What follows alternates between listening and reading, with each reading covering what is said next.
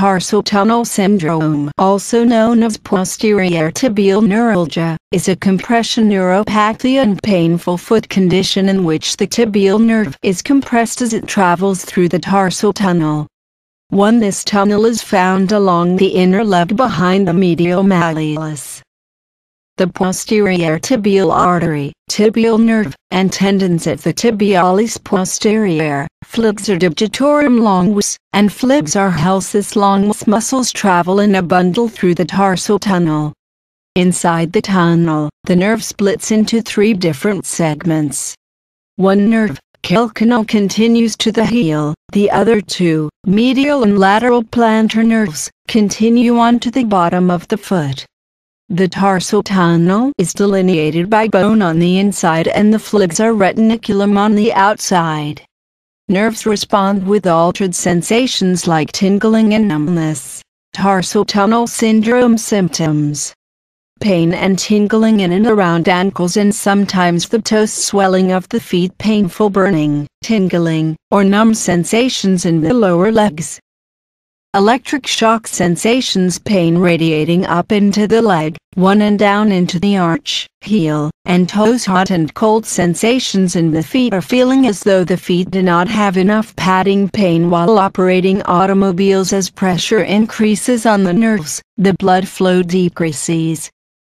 Burning sensation on the bottom of foot that radiates upward reaching the knee pins and needles, type feeling and increased sensation on the feet. Tarsal tunnel syndrome treatment. Treatments typically include rest, manipulation, strengthening of tibialis anterior, tibialis posterior, peroneus and short toe flexors, casting with a walker boot, corticosteroid and anesthetic injections, hot wax spots, wrapping, compression hose, and orthotics. Medications may include various anti-inflammatories such as Anaprox, or other medications such as Ultracet, Neurontin and Lyrica. Lidocaine patches are also a treatment. If there is scarring within the nerve or branches, this is relieved by internal neurolysis.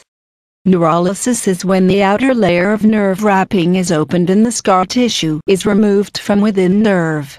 Tarsal tunnel syndrome is a common disease, yet every individual needs unique treatment and care. We encourage people with tarsal tunnel syndrome and their families to learn as much as possible about the latest medical treatment and approaches, as well as healthy lifestyle choices.